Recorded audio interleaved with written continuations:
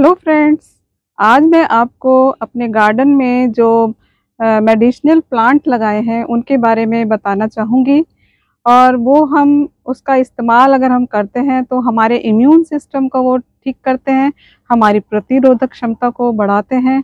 इसका अगर हम डेली इस्तेमाल करें तो वो हमारे हेल्थ के लिए बहुत अच्छे माने जाते हैं। तो सबसे पहले एक तो अजवाइन का जो पौधा है, वो बहुत फ़ायदा करता है। ये कड़ी पत्ता ये बेसिल, ये आंवला, ये पान, ये एलोवेरा, ये तुलसी और ये विनका का है सदाबहार। इसके बहुत फ़ायदे होते हैं। ये अश्वगंधा। तो इसके बारे में आज मैं आपको डिटेल से बताने वाली हूँ। फ्रेंड्स, ये अश्वगंधा का पौधा है और ये इसके बहुत ही हर्बल बेनिफिट्स हैं। ये औषधीय गुणों से भरपूर है।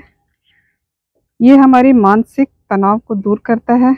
अगर हम इसकी पत्तियाँ लें और उसका इस्तेमाल करें तो ये हमारे कई सारी बीमारियों को दूर करता है। जैसे डायबिटीज़ और अर्थराइटिस में ये उनको कम करने में सहायता प्रदान करता है।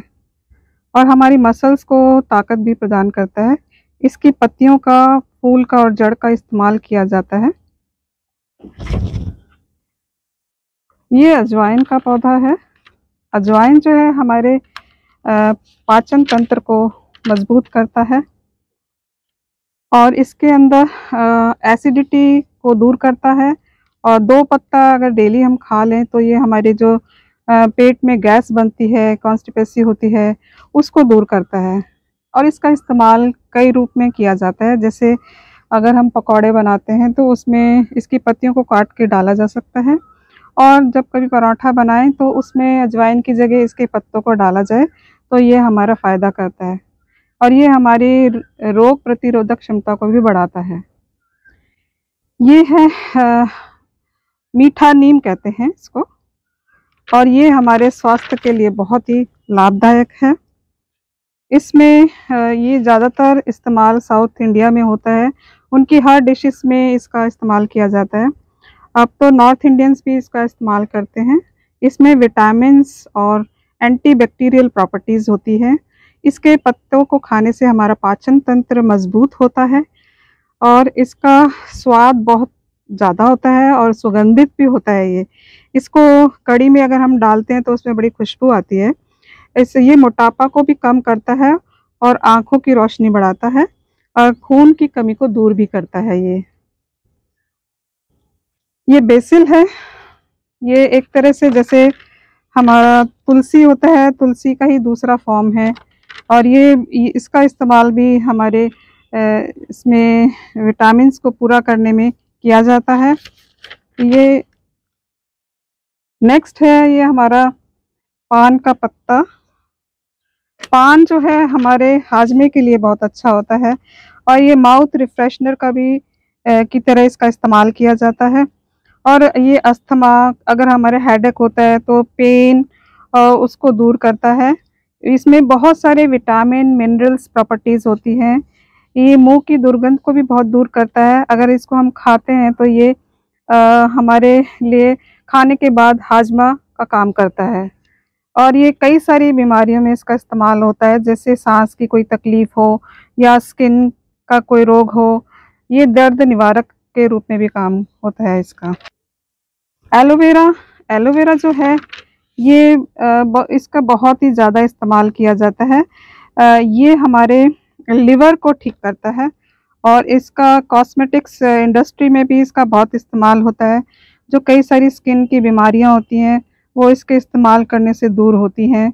और इसका जूस लेने पर अगर मॉर्निंग में हम इसका जूस ले लें, इसका अंदर जो जेल होता है, उसको निकाल के तो ये बहुत फ़ायदा करता है, हमारे इम्यून सिस्टम को स्ट्रॉन्ग करता है और जो हमारे एक्ने होता है उसको भी दूर करता है और एंटी रिंकल का काम करता है ये और स्किन में ग्लो लाता है। और ये तुलसी का पौधा है, तुलसी तो हर घर में इस्तेमाल की जाती है, ये हमारा जो इसकी पूजा भी की जाती है, सर्दी जुकाम में और गले ख़राब में इसका इस्तेमाल किया जाता है।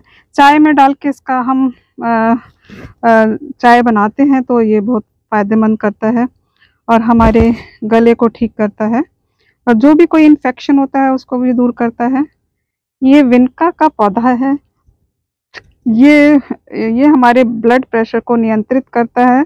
अगर हम दो तीन पत्ते या इसके फ्लावर्स को मॉर्निंग में खाली पेट खा लें तो इससे डायबिटीज़ को कम करने में सहायता मिलती है और ये कैंसर जैसे रोग को भी दूर करता है। तो इसका इस्तेमाल हाई ब्लड प्रेशर को कम करने में और डायबिटीज़ और कैंसर जैसे रोगों से दूर करने में इस्तेमाल किया जाता है। ये है हमारा आंवला। आंवला जो है वो बहुत ही सेहतमंद होता है। ये विटामिन सी और ए होता है इसके अंदर। और ये एंटीऑक्सीडेंट का काम करता है। ये हमारे डाइजेशन को और गैस एसिडिटी को दूर करता है और स्किन जो है हमारी इससे हेल्दी बनती है और इसमें रिंकल्स नहीं आती। हेयर फॉल को ठीक करने में ये हमारी सहायता करता है। इससे इसके इस्तेमाल से आई साइड भी बहुत अच्छी होती है और हम भी फैट बर्न करता है और वेट लॉस भी करता है।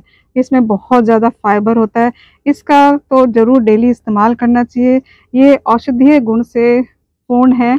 ये हमारी क्षमता को, प्रतिरोधक क्षमता को बढ़ाता है और विटामिन की पूर्ति करता है। इसका दोस्तों, इसका इस्तेमाल ज़रूर करना चाहिए। अपने गार्डन में ये जितने भी मेडिसिनल प्लांट्स हैं, इनका इस्तेमाल ज़रूर करना चाहिए। फ्रेंड्स, अगर आपको मेरी ये वीडियो पसंद आई हो तो इसे लाइक कीजिए, शेयर कीजिए सब्सक्राइब कीजिए और कमेंट्स देना ना भूलें। Thank you for watching my video